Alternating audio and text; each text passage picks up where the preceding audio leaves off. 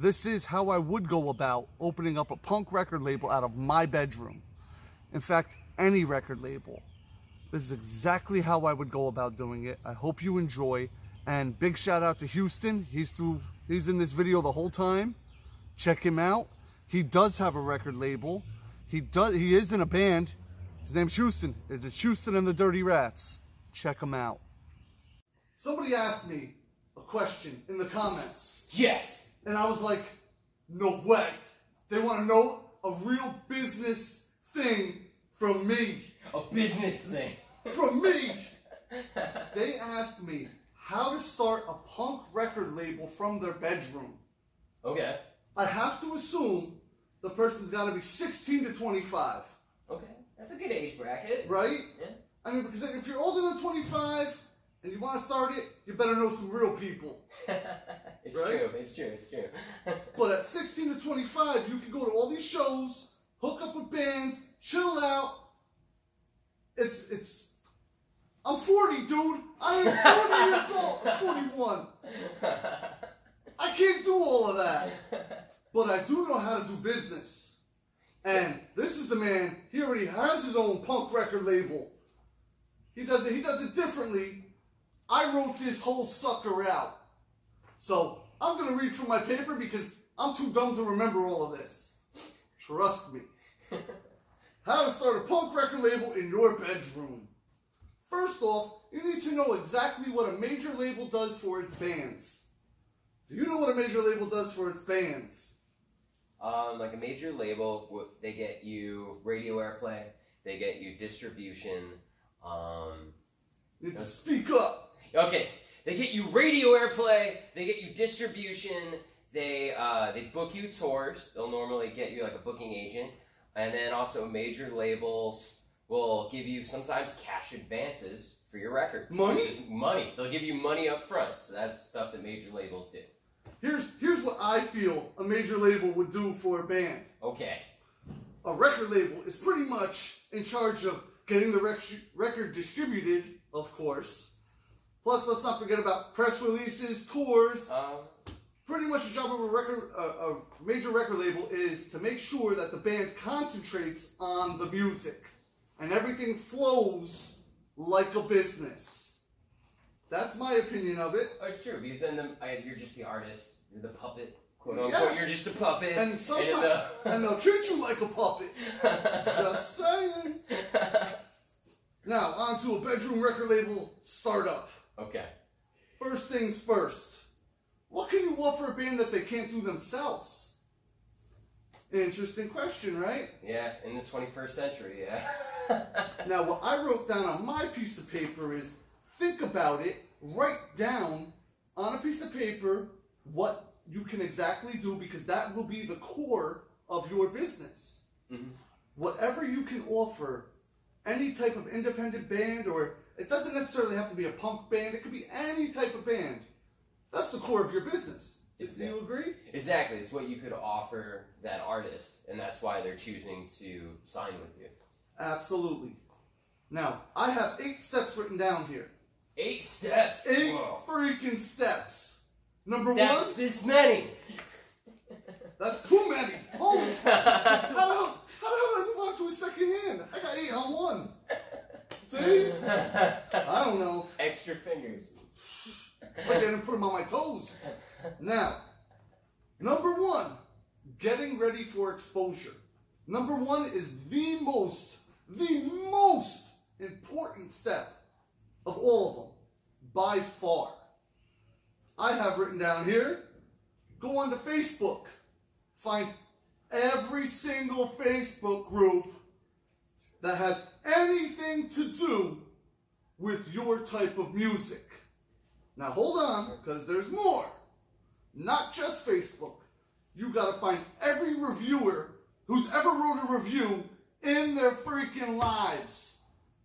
Now this is before you even have anything going. You need to know who does what, where, when, and why. Find every podcast. Find anybody who's willing to listen to you and do a write-up. I don't care if it's your grandmother. Do you agree with number one? I agree hundred percent. That's the best thing that um, a label and even an independent artist can do for themselves. Exposure. Exposure, hundred percent. Now, now here's the thing though. If you're done with this in two weeks, you didn't do a good enough job. Definitely. If you think after two hours of working on a computer and you have a hundred groups, you did okay? No, absolutely not. Give up now.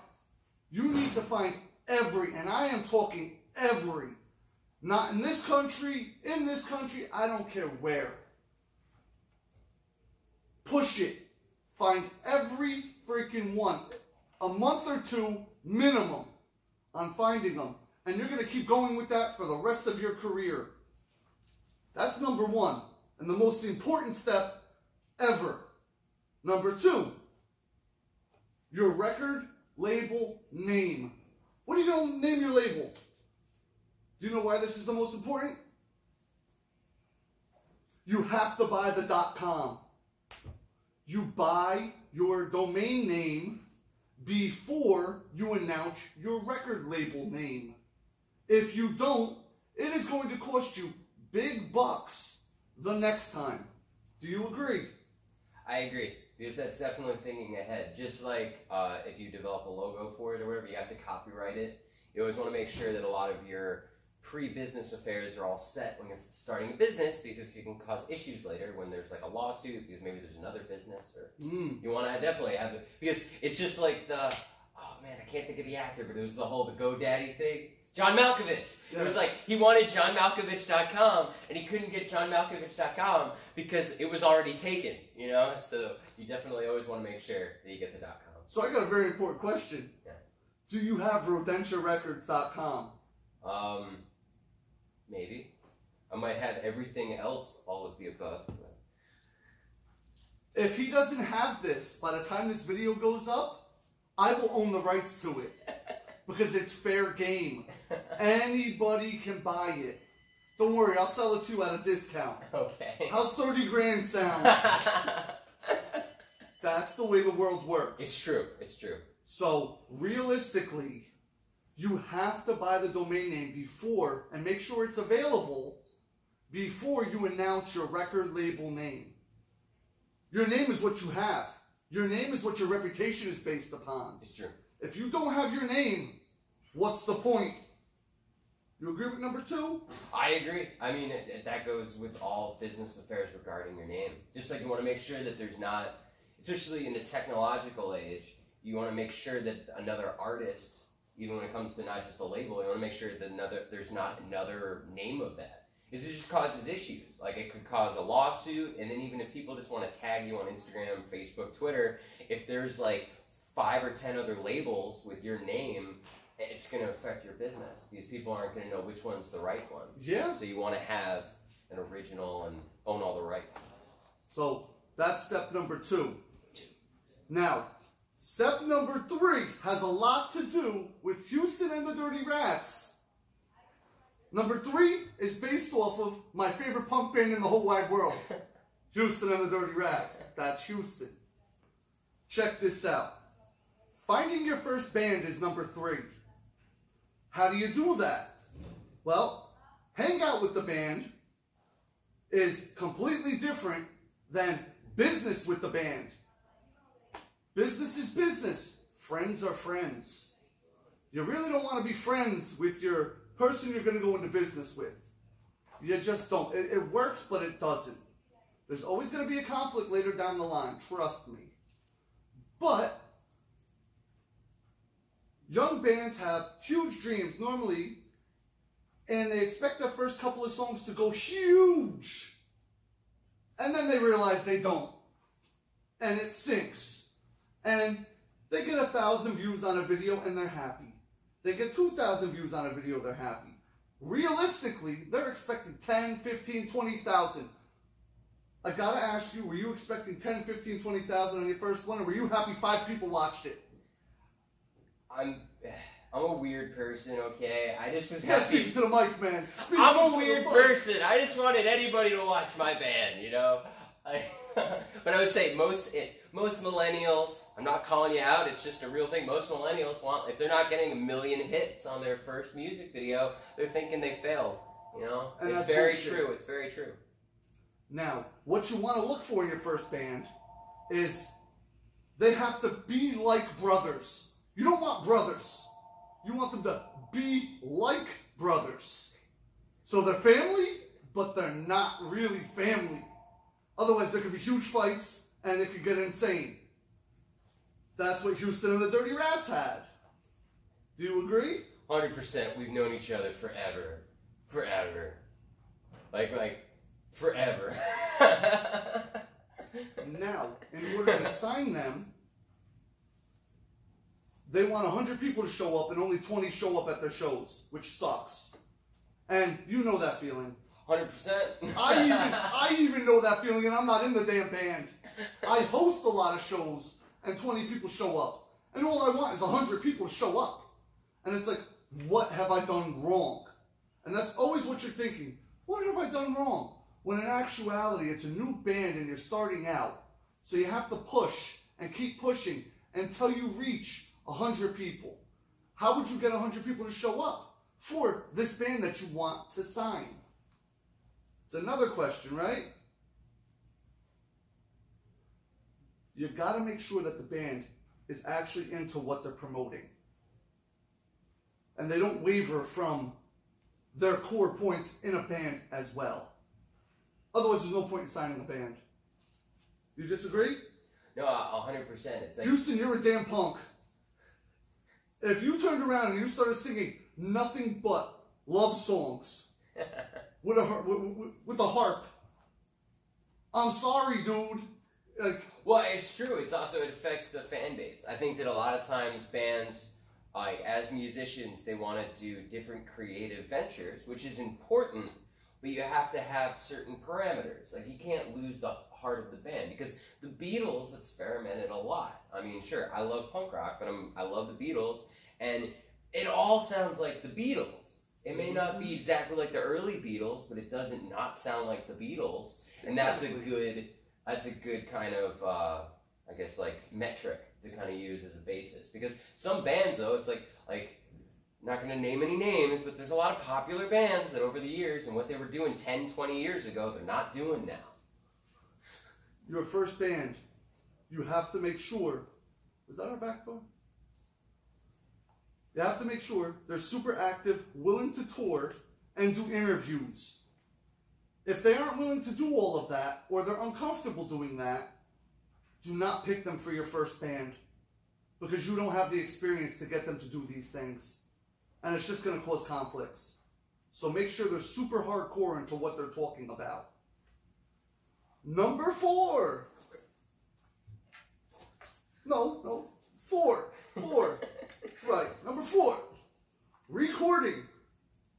There are plenty of home studios around the world nowadays. You can literally go in anybody's house and practically record a song.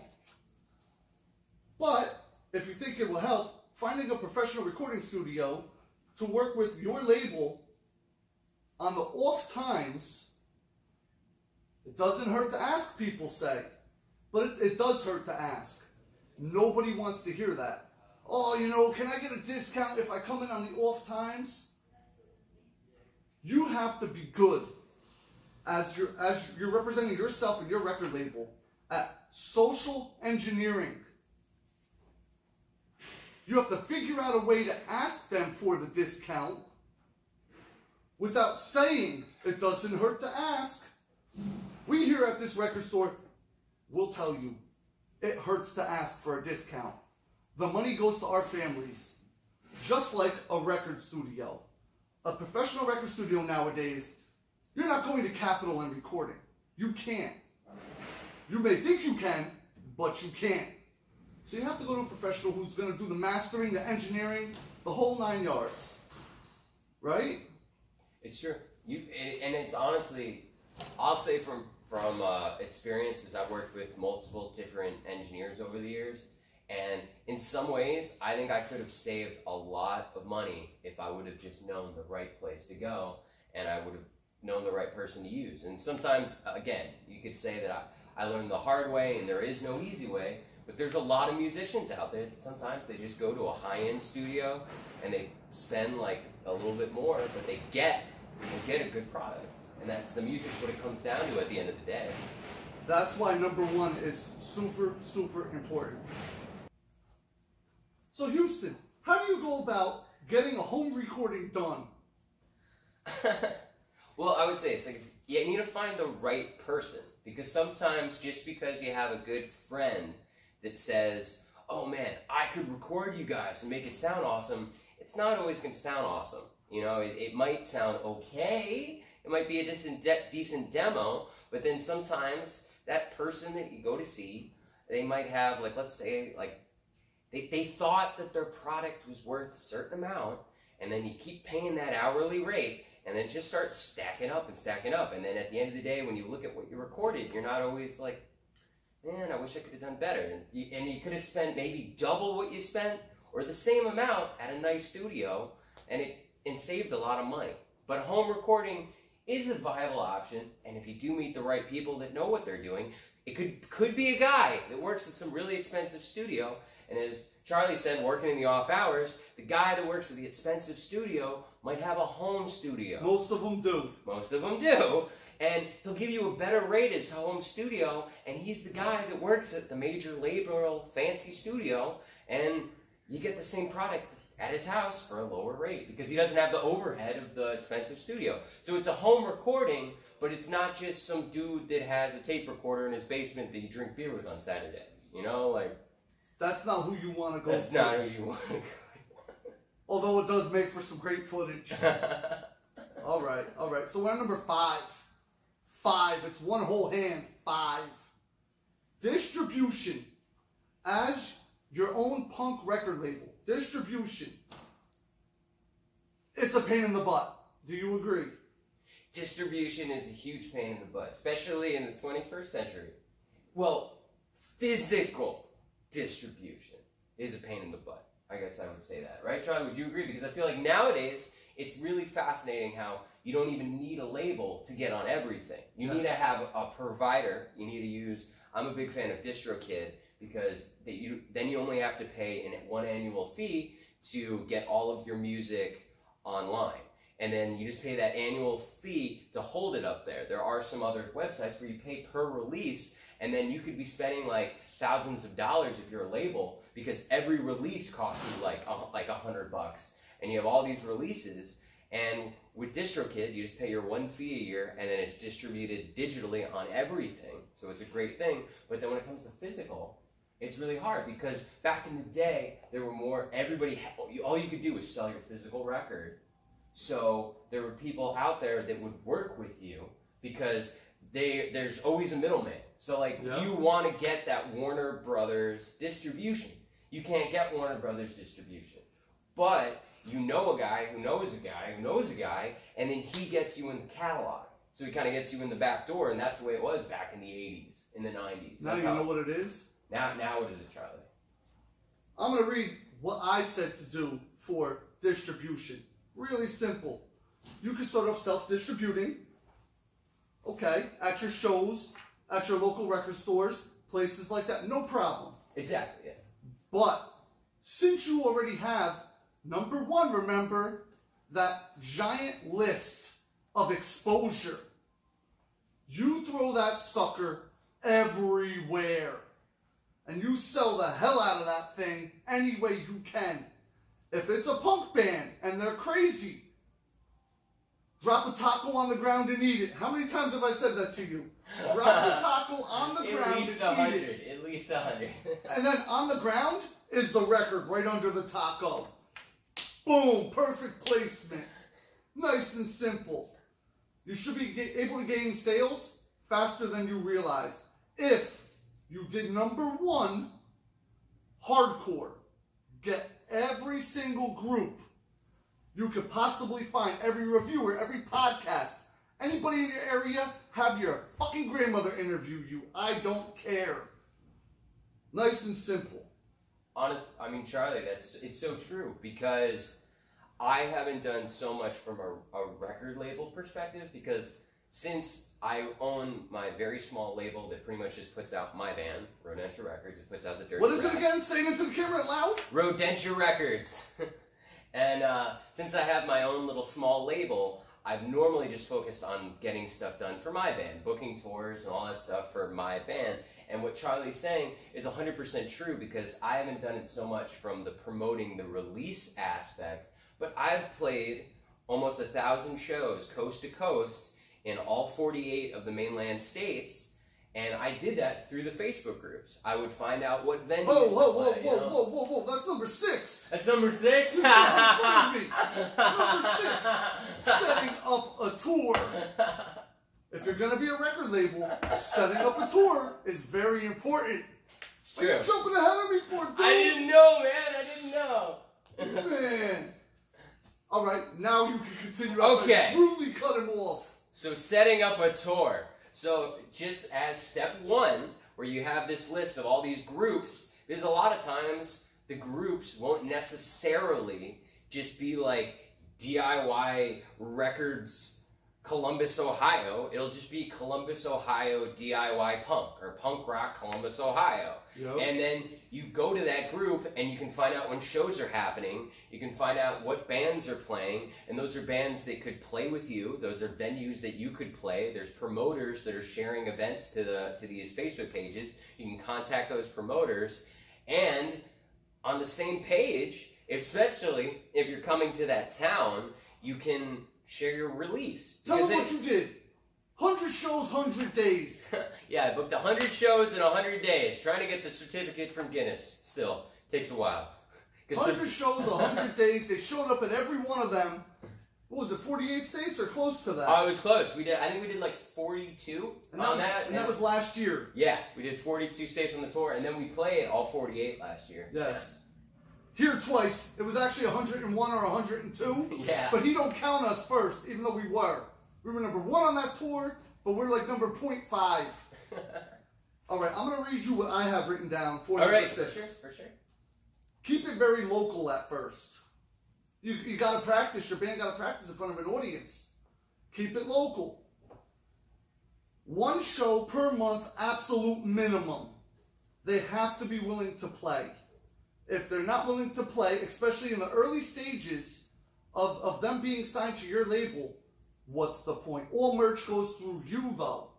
And that, that's coming up too. Anyway, that's that's the first thing. The other one is is the next show go out up to a 50 mile radius. This way you're moving out and you're building your brand in a in a central hub in a circle around you, a radius. Actually, I have a. There's uh Speak up. There's a if you're going to start a record label, I'd say one thing that you need is sometimes you need resources to reference. So I'm going to reference. There's a book called Tour Smart, which is definitely if you were going to start an independent record label, you should definitely get a copy of Tour Smart, and then you should also get a copy of How to Ruin a Record Label by Larry Livermore, who founded the Lookout Records that put out Green Day and stuff like that. But anyhow, That's old school. old school. You ready for new school? Yeah, that's what I mean. And uh, I was gonna say, in Tour Smart, there's a concept, like you said, about the radius. In the book, it talks about the the wheel method, where you want to have the spokes on a wheel. So you could have your general area, like we're in New Jersey. So that means you can try and play New York. You can try and play Philadelphia. You could maybe even try and branch out to like uh, like well, there's northeastern PA. You could play Scranton. You could even maybe work your way out towards Pittsburgh. Baltimore isn't that far either. Baltimore isn't that far. Uh, Washington D.C. isn't that far. You Yeah. got to look at all the general demographics. Delaware is not that far, and then it's all in the middle. The the center of your wheel is your hometown, and you build that that hometown following. Your job as a record label is getting them booked and tons of press. You have to put this thing everywhere, every single show they're going to play. You need to get that band working and moving nonstop. If they're playing one show a month, there better be at least five or six press opportunities before that show. And you better have that thing listed everywhere. Local radio station pages, newspapers. I don't care if you put it on Craigslist, Facebook, obviously, and Instagram and all the social media outlets. But you got to go above and beyond. You got to push like you've never pushed before. This is your record label. If you want to make it, you have to really freaking push. Now, there's also there's plenty of Facebook groups about touring. Like he was saying. I have that written down too. Mingle, mingle like your life depends on it. Because it does. As you're going to book these shows, you need to know these people. Who can do what for you? What can you do for them in exchange? It all works out. You're in a network of people when you're in a Facebook group about touring. If you're not going to work with people, this isn't going to work. You have to get them tons of press. And where are you going to get the press from? Every single town you go into, I guarantee you, has a local podcast, has a local record store. Hang a flyer on a wall like we do. Do things for your local bands. Go into all these different places. I don't care if you go into your local gas station. Put it in their bathroom. Anywhere anybody's going to show up that's crazy and a punk, because you're talking about a punk record label, Mm-hmm. put it everywhere a punk's going to be. Am I wrong? No, you're not wrong. I was I was gonna say that um, the concept of the concept of like doing your part. That's the big thing I always tell everyone that any independent artist, it's not just about you. It really isn't. Most bands that I've seen have gained success. A good example would be the Bouncing Souls Yeah. from New Jersey. The Bouncing Souls are the nicest guys on the planet as far as punk rock goes because a lot of times punk rockers have egos and they can be kind of jerky the bouncing souls are so salt of the earth because even i had an instance on the 100 shows tour where we had done some demos with uh, the guitar player from the bouncing souls and he always said if, if the souls are ever on tour hit us up so i hit pete up when we were on tour in utah doing the 100 shows and then they invited us on the tour bus and they gave us a large portion of their rider from that night. So we got all this food, and then the bass player Brian was like, "Here's a hundred beers for your hundred shows." Like it Give was, a hundred beers? he gave us a hundred No. beers, yeah. See, that's So- wild. And it's the whole thing. It's just from doing your part. Like the Bouncing Souls have got at their point, and then even you look at Fat Mike, who runs one of the most successful punk rock no record effects. labels, yeah. NOFX. No effects. Fat Wreck Chords was started by Mike saw talented bands and he wanted to help them. He was like, "This band's really good. They're a local band opening for us. Why don't I sign them and then I could put them national?" It's like seeing someone that's talented and doing their part. And you could be if you want to start this label, you'd be like, "Well, I'm just some guy. Like I'm a 16-year-old that loves music." Well, when you go to these all ages shows and you saw an awesome band from out of town, like a band from Arizona plays your hometown. Let's say you're from, let's say you're from, uh, what's it? You're from New Jersey, and a band from Arizona plays New Jersey, and you love them, and you want to sign them and put out their record.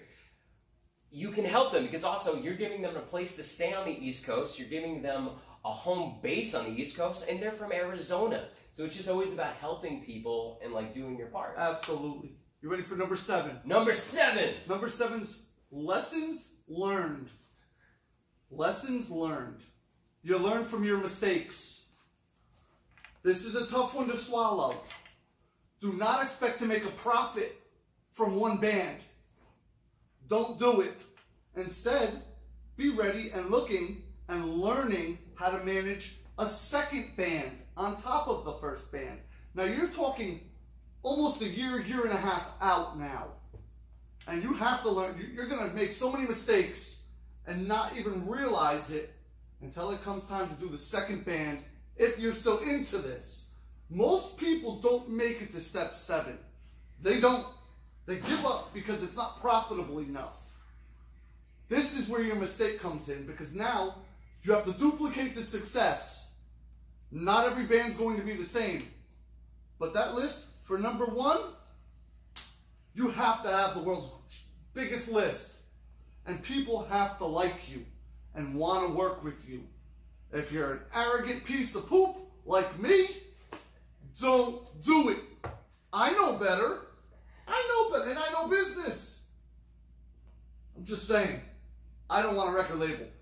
I'm too wild, I'm too crazy, but I'll take a record store and I'll sit in the back room and tell everybody else what to do, and it'll work and make me a profit. Can you can you beat that?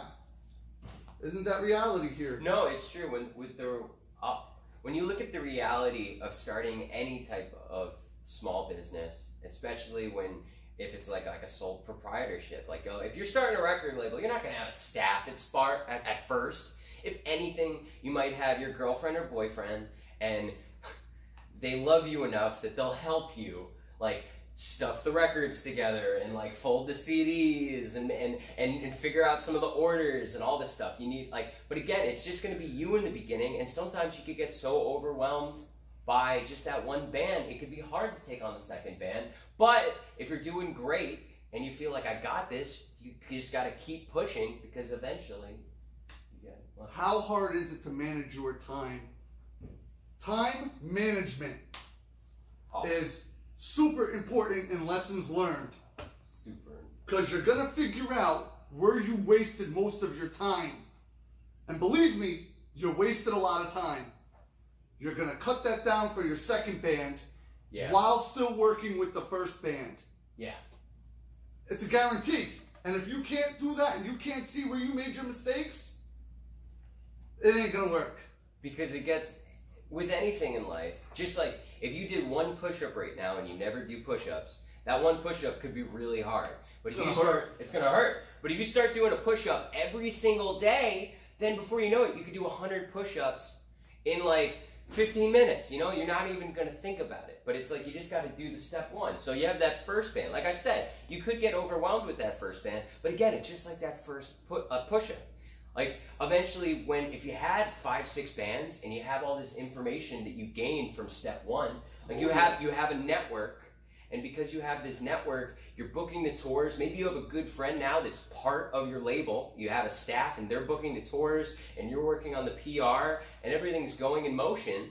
Then it gets easier, and then you could have ten bands, twenty bands. It's just you got to start with that first band and learn your lessons, and then use it as like building blocks to build the rest of the house, the rest of the the label.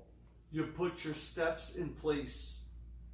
You write it out. You literally write it out. And this is the core of your business. This is has everything to do with number even before number 1. The core of your business is everything. By the second, by the third, by the fourth band, you will have it running like a fine oiled machine. This is what we do first. This is how we find the band. This is how we get exposure for them. This is the tour. Right in a row, straight down. And if you don't do that, you're done. By the fourth band, you should have everything like a well oiled machine running all around you. So now we're on to number eight and the final one making a profit. Baby, that's last. Did you notice that? Making a profit is last because you can't care about that. It's true. It's last. So I have written down reinvest in your business. Crucial to reinvest. If you made a profit, think about where that money will best suit your business. What do you think about reinvesting in the business? I would say that rein, reinvesting in the business is 100% mandatory. I think any small business owner would tell you in the beginning that it's like you don't like you sometimes don't see profit for five years. And then a lot of times, like if it's not within that three to five year bracket, you might want to try a different business. But in those first few years, you just are keep reinvesting because you're just trying to grow. You're trying to make the connections. You're trying to learn. You're trying to just become the most efficient business you have possible. At 16, if you're 16 right now to 20, by the time you're 25, by the time you're 30, this should work. Mm-hmm. 100%.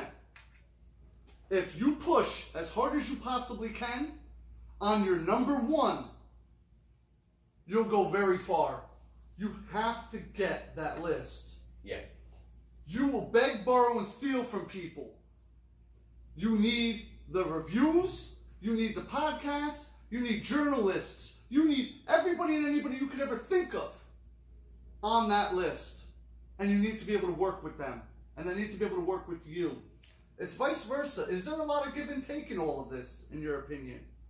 Um, I would say yeah. I would say that like with give and take, it's just like it's it's all part of a system. You know, it's it's the whole thing that like people aren't going to help you unless you help them. It's like always, it's, it's like I scratch your back, you scratch mine. Like just as like a microcosm. If I, with my label, I use mainly as a production company because uh, the only band on my label is my band, but I produce a lot of live events through my label. And if a band from Florida booked my band, when they come up to New Jersey, I'm gonna book them. You know, I, I have to I have to reciprocate, and it goes. I've had always. shows like that. With Exactly. You. Yeah, where he's come to me and said, "Can so and so play here because they hooked me up down there? I gotta hook them up up here." And I've been like, "Sure, Houston, no problem." Shit's always happened, but am I wrong? no, it's true. Honestly, it's it's like it's just part of it's part of the network. It's part of the community. It's part of the system and how it just goes. Is that you aren't dealing with major labels. Is a major label, there's contracts. So if they don't like you, they don't have to like you because there's a contract and there's money involved and all that. But if it's independent, you're only as strong as your name and your reputation. Yep. Honestly, if it's just your, And your record label name. yeah, and your record, you gotta have a good record label. Number label two, remember. Number two. Now, I want to give a pro tip. I'm nowhere near a freaking pro, but I'm going to give you a pro tip. You don't have to go to Warner for distribution, or Sony, or Universal, or any of them. Self distribution is great, but you can always go with a little bit less, a middleman on distribution to begin with a small record label. You can go to Alliance, URP. You can go to the smaller ones. Hell, I even think Ingram would put you out. You could go to Sound Whatever America. I, I forget the name of it right now, but they'll gladly put out your 7 inch, and they already have a couple hundred thousand people following them. If they put you on their page, chances are you'll sell five or six things, which is great to begin with. And it is really easy to gain middle management distribution. That's my pro tip. What do you think about that? Honestly, no. That's a that's a hundred percent. That's a great piece of advice because if you look at if you if you have someone that's going to get you distributed, that's the big thing when it comes down. If you are if you are trying to be an independent record label, the number one thing you do as a do as a record label is since you aren't a musician, you're actually just a label. You know, you have. No, I hear you. So- There's a phone ringing in the background. Yeah. You know how we do. This is unedited pretty much. I know. But yeah, so I would say that I agree with you, Charlie, because since you're a label, you're not a musician, you're not worried about playing shows. Your big thing is you're worrying about getting your artist in the hands of people that would want to listen to them. Yes. So if you can have a proper distributor, then with step number one, you have your list so you know a bunch of independent record stores throughout the country and you could mail them a copy. Let's say they buy it from your personal web store that you have for your record label. But then when they want more, you could be like, we're, di- we're distributed s- through so and so. And that makes you look good because they're getting all their other records from that when they're doing their orders at the end of the month. Sure. So then they'll just to put another check mark next to your name. So yes, you might do a lot of the initial legwork, but once you get the ball rolling and people know who your band is and people are asking about it because there's write-ups and everything, then when they need to order it, they can just easily get it distributed to the to the store. That first band, you better work harder for them than you've ever worked for yourself in your life. Because you need to learn every mistake you could possibly make and then fix them with the second band. It's reality. Right? Mm-hmm. Now, this is only covering how to. I didn't go into the business side of this. I didn't tell you about percentages and different things and how to go about doing that. All I am talking about in this video is the actual business. And who am I to talk about this? Absolutely nobody. I'm a nobody. Five minutes of thought went into this and about half hour to write this. And then calling up Houston and being like, dude, come here, you own a record label. And that's what it takes once you have your steps in place. Anything you would like to add? I would say 100%. Every- This is a great list. Everything you've seen in this video could help you start a label. And one thing, you know, I would say I would do this if I could throw in a pro tip. I would say the time management really is the big thing. So I can't stress this enough because I've struggled with time management my entire life. And you may say, "Oh, I don't struggle with time Never management." Never shows up on time. Love him though. you know, but like you could be like, "I've never been late for a show though." No, no, okay. One. But I um, can name it. but I would say that time management is really important. You could be watching this video and be like, oh, it's like, oh, I, I have perfect time management, but I'm sure you're procrastinating something. Uh-huh. Everybody does. You know, we're just human. But there's one thing I could say that might help this, and it was a little off base, but something I learned recently. You should look up the Pomodoro method. It's something where you set a timer. So, like when Charlie said in step one that you want like a million podcasts that you can contact. Find At first, at first, that could be really intimidating. You could you could want to give up after 20 or 30 of just Google stuff. But the Pomodoro method is something where you just set a timer. So you give yourself a basic time limit. You'd say, for 15 minutes, I'm going to do this given task. And this can go for anything in life. It's something, it's so simple that this would have maybe, I could be 10 steps ahead of where I am with my band and my label if I just knew this like five years ago, but I didn't. So if you just set a timer and you do, you follow what Charlie's telling you, you could do anything. You could even apply, like literally, it's like when he said, it's like, even if you wanted to sell bracelets, you go to the Facebook groups, you find the bracelet podcasts, you go to the, you go to art shows, you book a bracelet tour for, for an art show tour. You know, It's you just can use business. this. It's just business. It's just business. How to set up a business. Boom. And if you manage your time and just do it a little step at a time, you can just do it and like start with like I'm just gonna do 15 minutes, and you're like, wow, that 15 minutes I was so productive. Now I'm gonna do another 15, or I'm gonna do an hour, and then before you know it, you have, know all these people. You have built this network, and the sky's the limit. If you have any other business questions that you want me to actually take serious, let me know in the comments. I'm telling you. Thank you, Houston. Houston and the Dirty Rats. Check out his band, his page. He just released a music video. It's awesome. He poops on himself. We're I've on seen the whole thing. Spotify. Subscribe. Subscribe.